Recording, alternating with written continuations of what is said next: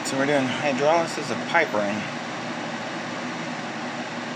About 10 grams potassium hydroxide dissolved in. About 65 milliliters of 100% uh, ethanol. Um, be refluxing it for about 3 hours. Get the piperinic acid out of it. Piperidine too. Really have no use for that, but it will be separated.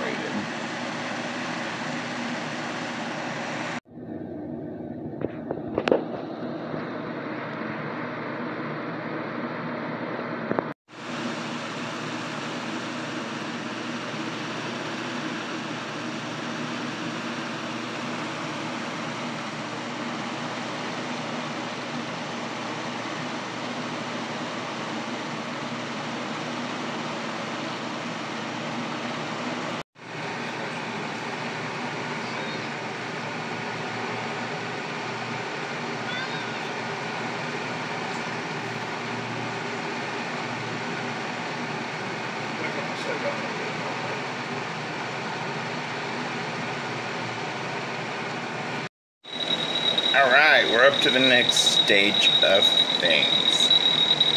We have distilled the ethanolic piperidine solution off. Uh, there was still some left, not much, it was pretty solid at the bottom, but you can smell it's there. The spicy pepper aroma is pretty well gone. Um, so we now have potassium piperonate, uh, or potassium piperate. I'm not really sure clarify that for me, somebody, please? So, uh, I think it's piperonate. Uh, so, we got that. We're sitting here letting everything dissolve, stirring the absolute living crap out of it. About 1200 RPMs. So, gonna get everything into solution. We're gonna vacuum filter, and then we're gonna add HCl.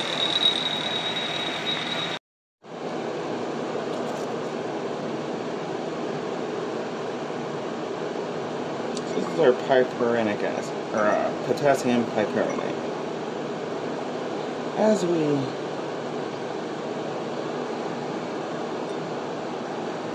add, I don't know how exothermic that's going to be, but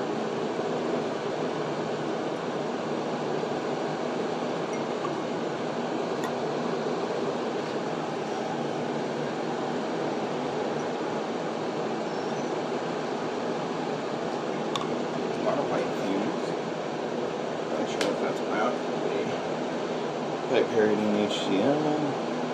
Not really sure.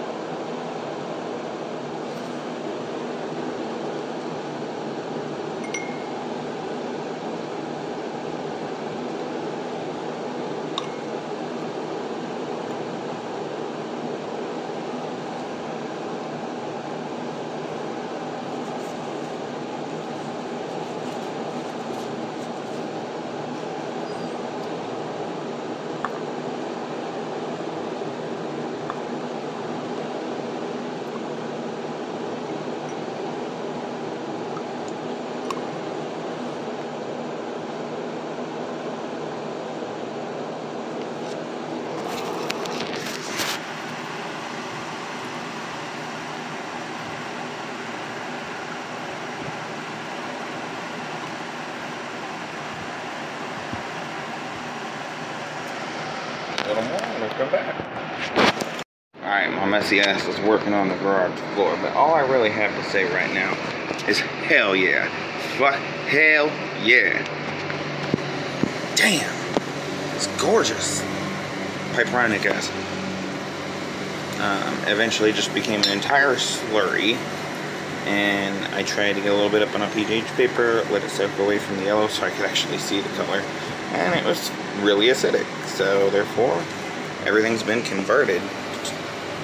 Uh, it's just gorgeous. I'm gonna vacuum filter it, wash out the, the flask, give it a nice bath. You're nice and clean and dry her up. All right, I think this uh, this was a really cool procedure, and I've kind of got this a little messed up. I'll explain. So, my final piperin this is from white pepper. I have none of it left in the black pepper. I used it all for the piperinic acid. Now, I. Alright, so the smell of piperine from black pepper is, is pleasant. Um, I got my white pepper off Amazon. Um, actually, here, let me get it real quick. Normally, I don't, don't do all this kind of chemistry in my kitchen, but it's a pepper extract. It's, you know, whatever. So, I got my white pepper. Boom. Used all of it but that to make that, minus a little bit I had to add to make the piperinic acid because I had like a half a gram too little. So I just threw about like half a gram of that into the black pepper stuff. Anyways, blabbing on.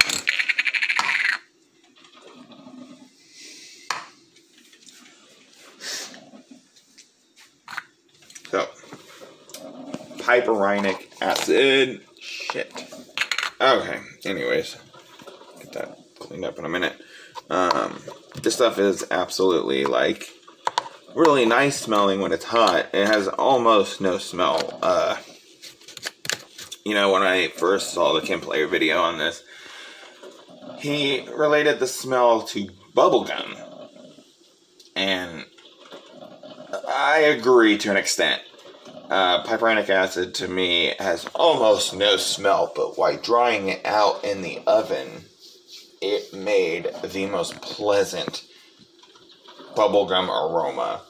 It was it was heavy. I mean, it was it was very strong, clearly bubblegum. Kind of like a woody bubblegum, I guess. I don't know. Anyways, I didn't try as hard with this because I, like I said, I have no use for this. Uh, piperidine hydrochloride. I basically just took the piperidine oil that was distilled off and added some HCl to it, and boom, that. So I believe a lot of the smoke that was being seen from the addition of hydrochloric acid to the um, potassium piperate was leftover piperidine. I definitely should have more than that, but whatever. Um, like I said, I have no use for it, so it's a nice, I guess, addition as a collection um, thing. So, but this experiment was kind of like I'm kind of a beginner. I'm more self-taught, I guess. Um, but this is kind of like a, a basic lab skills. So we got these, um, you know, this product into those two products, and it's all very cool. Um, could have gone on to Piperonal, but no, um, no, chose not to. So um, I thought this was a very cool experiment. I actually have second experiment planned for this, and I'm making the piperidine uh, periodide. Um, I believe is what it was. It said, uh, you know, the piperidine, and it was like HI uh, dash I2, I believe, which on the Wikipedia page, I'm kind of going off memory here, so pardon me if I'm like way off base.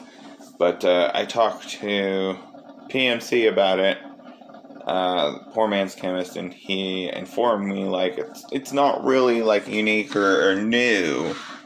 Um, it's a periodide, just like he's done. I believe it was rubidium periodide uh, or something like that. I'm probably look wrong again, but um, I'm going off memory, and my memory is crap. But uh, I I just think it would be cool. It says it crystallizes out of steel blue needles and it's characteristic of periodides, as he had let me know, but uh, still going to be cool. I haven't really seen anybody do this, and for some reason, this one stupid sentence on Wikipedia has me just absolutely curious. So, enough blabbing. That is the end of this experiment, and hopefully you liked it. Um, if you liked it, do like and subscribe. Come back for more. Um, all of my equipment is bought by myself and self-taught. Um, I just have the the want to learn, the want to know more, and I just love chemistry. I think it's really cool. I would I would love to do it as a career one day, but uh, for now, this is this is fine. I love it. Have a great day.